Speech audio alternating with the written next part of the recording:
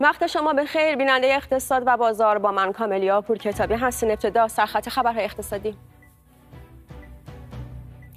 واکنش بازارهای مالی ایران به کشته شدن حسن نصرالله دلار 1500 تومان گران شد. سکه طلا با گذر از 48 میلیون تومان رکوردی تاریخی ثبت کرد. گزارش روزنامه های ایران از وضعیت نابسامانه بازار نان روزنامه هم میهن از افزایش دزدی نان پس از گران شدن آن نوشت. حمله اسرائیل به مقر فرماندهی حزب الله در بیروت و کشته شدن حسن نصرالله موجب افزایش قیمتها در بازار ارز و طلا و محدود شدن دامنه نوسان قیمت سهام در بورس تهران شد. بر اساس گزارش صرافی های تهران قیمت دلار در بازار آزاد ارز تهران با افزایش 1500 تومانی در معاملات امروز به 61500 تومان رسید. این بالاترین قیمت ثبت شده دلار در دو ماه اخیر هست. در بازار طلا نیز قیمت سکه طلا طرح جدید به مرز 48 میلیون تومان رسید و رکورد تاریخی جدیدی ثبت کرد. بر اساس گزارش سایت های اطلاع رسانی حوزه طلا قیمت هر قطعه نیم سکه هم به آستانه 26 میلیون تومان رسید و نرخ هر گرم طلای 18 ایار نیز از 4 میلیون تومان فراتر رفت. در بازار سهام تهران هم پس از جلسه اضطراری سازمان بورس دامنه نوسان قیمت سهام به مثبت و منفی یک درصد محدود شده. بنابر گزارش امروز در شورای فعالیت بورس تقریبا در تمامی نمادها صف فروش تشکیل شده و 92 درصد نمادها با افت قیمت مواجه شدن اشخاص حقیقی هم امروز حدود 860 میلیارد تومان پول از بازار سهام خارج کردند. و قیمت نفت خام پس از انتشار خبر کشته شدن حسن نصرالله دبیر کل حزب الله لبنان افزایش یافت. قیمت هر بشکه نفت وست تگزاس اینترمدییت با بیش از یک درصد افزایش. به بالای 68 دلار رسید. قیمت نفت برنت دریای شمال نیز با رشدی در حدود یک درصد از 72 دلار فراتر رفت. بسیاری از مخاطبان ایران اینترنشنال هم با اشاره به نقش جمهوری اسلامی در تأمین مالی حزب الله از کشته شدن نصرالله ابراز شادمانی کردند. مردم ایران انقدر خوشحالن انقدر خوشحالن علت خصوص خودم که یکی مثل حسن نصرالله که سالهاست داره پول سرمایه ما رو می‌بره برای یه جنگ بیخود و بیفایده و مردم خودمون در رنج و عذابن. دم اسرائیل گرم. حسن نصرالله گفت پول ما لباس ما غذای ما نون ما اسلحه ما. تا ایران پول داره ما پول داریم. آقا چی شد؟ کجا رفتی؟ چطوری آسد علی؟ ببین شیرینی گرفتیم پخش کنیم. امروز باید شادی کرد. امروز باید جشن گرفت. امروز روز عزای تو و جشن ما مردم ایران. دیدی وقتی پول مردم اینا رو میدی دست حزب الله و حماس چه بلایی سرشون میاد؟ ببین آسد علی یواش یواش داره نوبتت میشه امروز که رفتی قایم شدی. خدا به فریادت برسه فردا می‌خوای چی کار کنی؟ همو جون ظاهرا اینا از رگ گردن بهت نزدیکتر آسد علی. قایم نشو. آرش آزرمی همکارم اینجا با من هست راجع به این موضوع با هم بیشتر صحبت می‌کنیم. خب آرش در مورد واکنش بازارها به کشته شدن حسن نصرالله و تاثیر میان مدت و همینطور بلند مدت این موضوع بر اقتصاد ایران است و اینجا بیشتر میشنویم.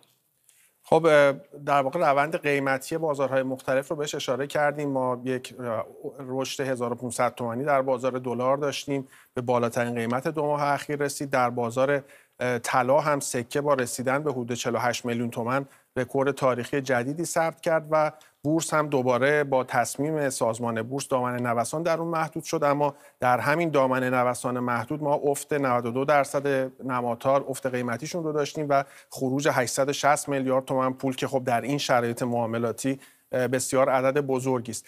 اما از این تاثیر کوتاه مدت اگر بگذریم در دو سناریو میشه بررسی کرد آن چیزی که این واقعه بسیار مهم بر اقتصاد ایران تاثیر خواهد گذاشت. اگر جمهوری اسلامی سعی کنه درگیری ها رو افزایش بده و درگیری نظامی با اسرائیل دوباره در واقع به روی گزینه های روی میز اضافه بشه چیزی که پس از کشته شدن هنیه ما ندیدیم و اون اتفاق نیفتاده وارد در واقع یک دوره اقتصاد جنگی دوباره ایران خواهد شد.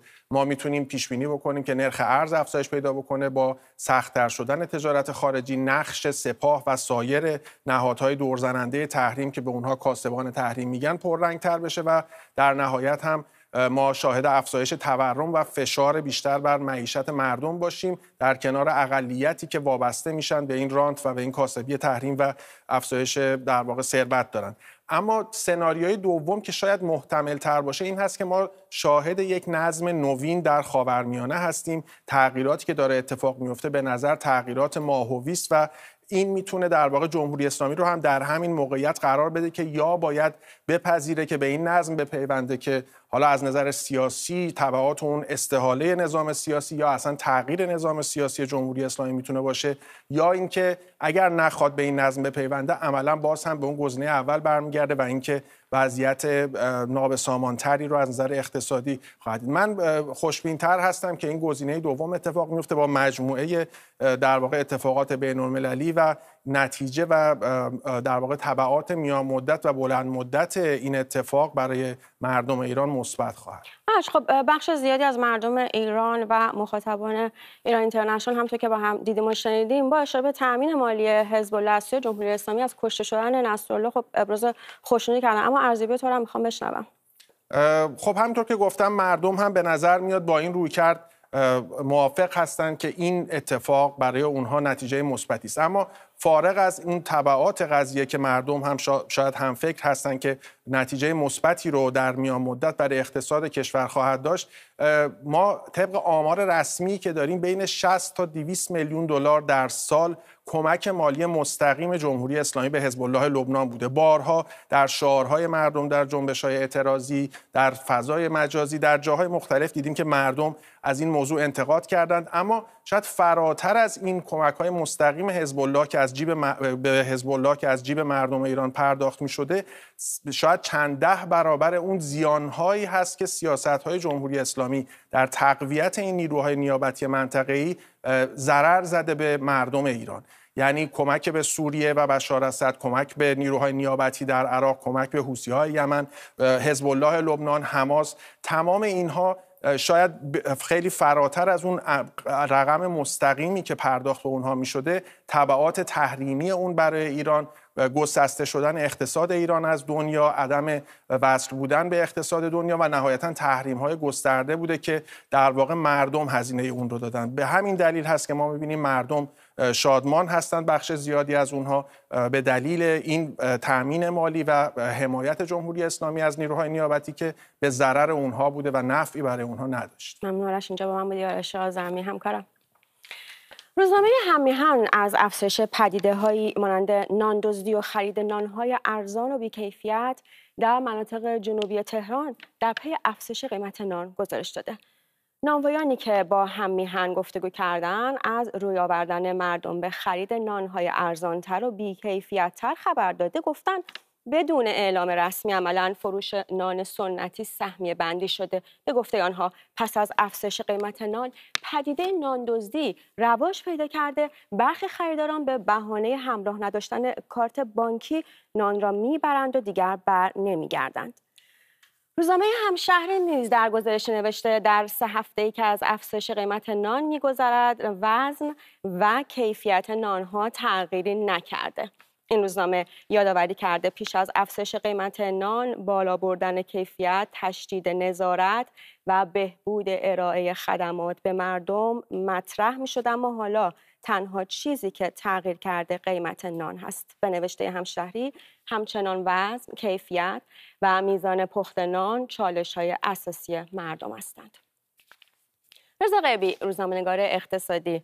از وضعیت نابسامان نان و عدم بهبود کیفیت آن پس از گرانی اخیر می‌گوید. حوزه نانبایی ها مخصوصا اونهایی که یارانه دولتی می‌گیرن یعنی آرد دولتی می‌گیرن به واسطه اینکه قیمت دستوری تأمین میشه تعیین میشه و از طرفی رقابتی وجود نداره شاید هستیم که خب کیفیت نان تولید شده بسیار بسیار پایین هست. یک دلیل دیگرش هم برمیگرده به اینکه این افزایش قیمتی که از 25 درصد تا 65 درصد در تهران در انواع نان رخ داد کماکان اون افزایش هزینه های نانوایان رو جبران نکرده و تولید براشون توجیه اقتصادی نداره. چه بسا بعضا نان بیکیفیت تولید می‌کنن تا به فروش نره و بتونن اون رو به عنوان خوراکدان به قیمت های بالاتری بفروشن. اتفاقی که میفته این هست و در این فضا ما شاهد هستیم اون روی دیگر فقر هم خودش رو داره نشون میده به شکلی که در گزارش شما گفتین و این نشان دهنده عمق فاجعه و عمق فقر در مناطق جنوبی تهران و حتی استانهای کم برخوردار مخصوصا در مناطق مرز، مرزی و استانهای مثل سیستان و بلوچستان هست که این فاجعه در اونجا داره رخ میده و کار به جایی رسیده که مردم دهکای پایین از تأمین و خرید نان خودشون هم عاجز هستن و روی میارن به نسیه خریدن یا نان دزدی و حتی خب برخی ها هم که توان و حجب و حیای این رو ندارن که بخوا... حجب و حیا دارن که بخوان این کارها رو نکنن هم قاعدتا شب سره گرسنه بر بالین می‌گذارن. همین الان هم خب کالری مورد دریافت حداقل چهار دهک پایین جامعه زیر سوال هست. نتیجه این اتفاقات نتیجه این روند در نهایت خودش رو به شکل سوء تغذیه در بین مردم و در بین اقشار مختلف مخصوصا در دهک های پایین نشون میده. خیلی ممنونم از همراهیتون با بخش اقتصادی امروز. اقتصاد و بازار رو با ایران اینترنشنال دنبال کنید.